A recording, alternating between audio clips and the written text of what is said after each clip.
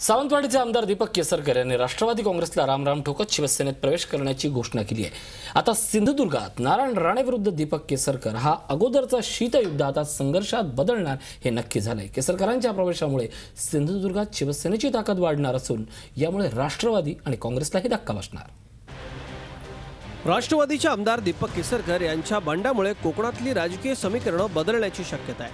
कोकणात सध्या नारायण राणेंचं वर्चस्व आहे. मात्र राणेंच्या वर्चस्वाला लोकसभा निवडणुकीपासून सुरुंग लागायला सुरुवात झाली आहे. राणेंविरोधातले हल्ले आता आणखी वाढत जाणार आहेत. कोकणची जनता स्वाभिमानी असून गुंडगिरी आणि दहशत खपवून घेणार नाही असा इशाराही केसरकरांनी दिलाय. राष्ट्रवादी काँग्रेसमध्ये जितेंद्र आव्हाडांनी अपमानास्पद वागणूक दिली असा आरोप करत केसरकरांनी आव्हाडांवर तोफ डागली आहे.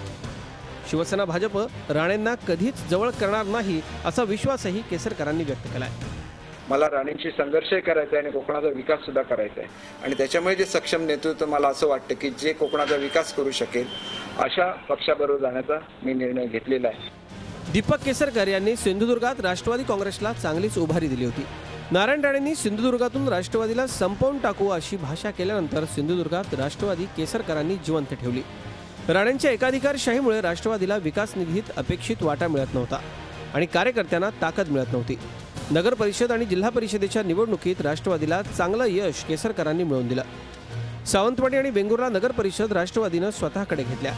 पण आता केसरकर शिवसेनेत गेल्यामुळे राष्ट्रवादीला फटका बसणार आहे. गेल्या दोन तीन महिन्यापासून काँग्रेसच्या स्थानिक नेतृत्वाबद्दल प्रचंड असंतुष्ट असल्यामुळे असमाधानी असल्यामुळे आणि गेल्या दोन तीन महिन्यामध्ये लोकसभेच्या निवडणुकीच्या पार्श्वभूमीवर त्यांची झालेली कोंडी विचारात घेता त्यांनी शिवसेनेमध्ये जाण्याचा निर्णय घेतलेला आहे. दीपक केसरकर यांच्या शिवसेना प्रवेशाचे परिणाम सावंतवाडी पलीकडेही दिसतील. सिंधुदुर्ग जिल्ह्यातल्या केसरकरांना मानणारे आणि राणेंच्या एकाधिकारशाहीला कंटाळलेले कार्यकर्ते आणि नेते केसरकरांबरोबर जातील. लोकसभेत विजयी झाल्यामुळे शिवसेनेची ताकद वाढली आहे त्यात आता केसरकरांची जोड मिळाली आहे त्यामुळे विधानसभा निवडणुकीत शिवसेना वाढलेल्या ताकदीनं रिंगणात उतरेल. सिंधुदुर्गात शिवसेनेकडे वैभव नाईक सोडला तर नारायण राणेंना अंगावर घेणारा एकही कार्यकर्ता नव्हता. दीपक केसरकरांच्या प्रवेशामुळे आता सिंधुदुर्गातील शिवसेनेला चांगलीच उभारी मिळणार एवढं मात्र नक्की. दीपक केसरकर यांच्या शिवसेना प्रवेशामुळे कोकणातील राजकीय समीकरणं बदलणार आहेत. कोकणात गेल्या काही वर्षात राष्ट्रवादी काँग्रेस पक्ष वाढत होता. मात्र दीपक केसरकर यांच्या जाण्याने राष्ट्रवादी काँग्रेससमोर मोठं आव्हान टाकणार आहे. सावंतवाडी विधानसभा मतदारसंघ वाचविणे हे आता राष्ट्रवादी काँग्रेससमोरचं मोठं आव्हान असणार आहे. हे आव्हान कसं पेलवतं हे यापुढच्या काळात पाहणं औत्सुक्याचं ठरेल.